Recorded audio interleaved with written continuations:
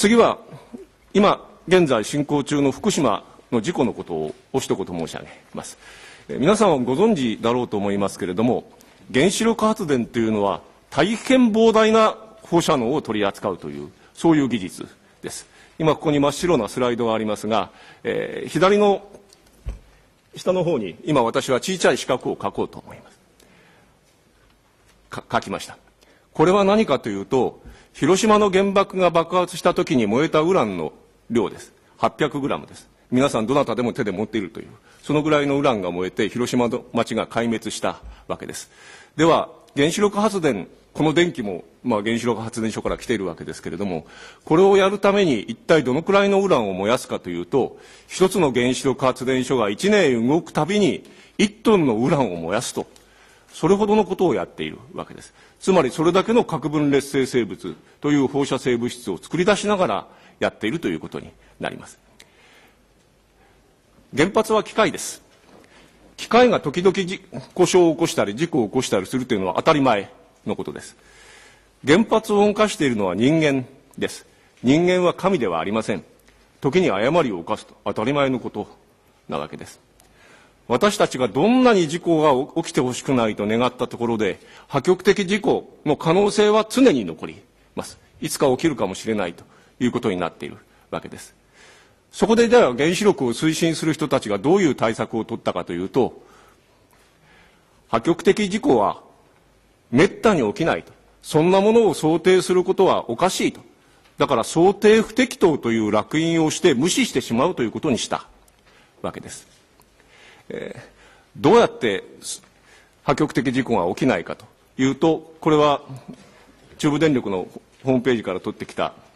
えー、説明の図ですけれども、たくさんの壁があると、放射能を外部に漏らさないための壁があると言っているのですが、このうちで特に重要なのは、第4の壁というところに書いてある原子炉格納容器というものです。えー、巨大な鋼鉄製の容器ですけれども、えー、これがいついかなる時でも放射能を閉じ込めるという、そういう考え方にしたわけです。えー、原子炉立地審査指針というものがあって、えー、その指針に基づいて重大事故、仮想事故という、ま、まあ、かなり厳しい事故を考えていると彼らは言うわけですけれども、そういう事故では、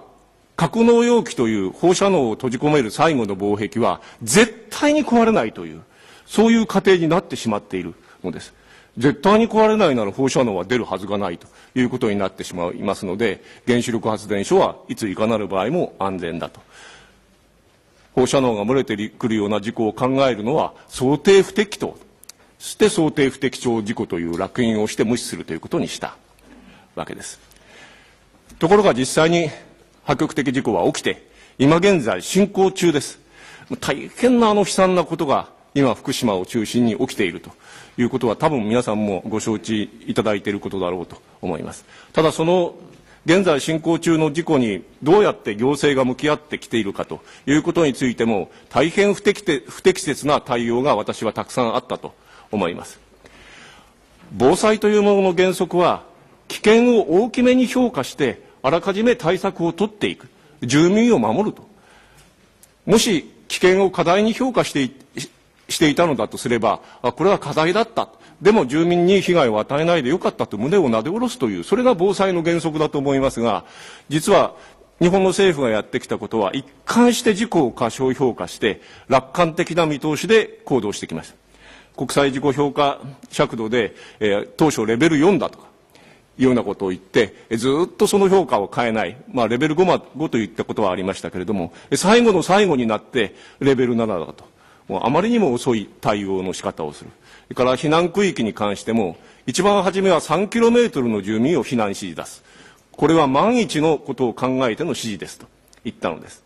しかししばらくしたら今度10キロメートルの人たちに避難指示を出しました。その時も、これは万一のことを考えての処置ですと言ったのです。ところがそれからしばらくしたら、20キロメートルの人たちに避難の指示を出す。その時も、これは万一のことを考えての指示ですというようなことを言いながら、どんどんどんどん後手ごとに対策がなっていったという経過をたどりました。私は、パニックを避ける唯一の手段というのは、正確な情報を常に公開するという態度だろうと思います。そうして初めて行政や国が住民から信頼を受ける、そしてパニックを回避するのだと私は思ってきたのですが、残念ながら日本の行政はそうではありませんでした。え常に情報を隠して、危機的な状況でないということを常に言いたがるということでした。スピーディーという100億円以上のお金をかけて、25年もかけて、えー、築き上げてきた自己時の計算行動、それすらも隠してしまって、住民には知らせないというようなことをやったわけです。それから、現在まだ続いていますが、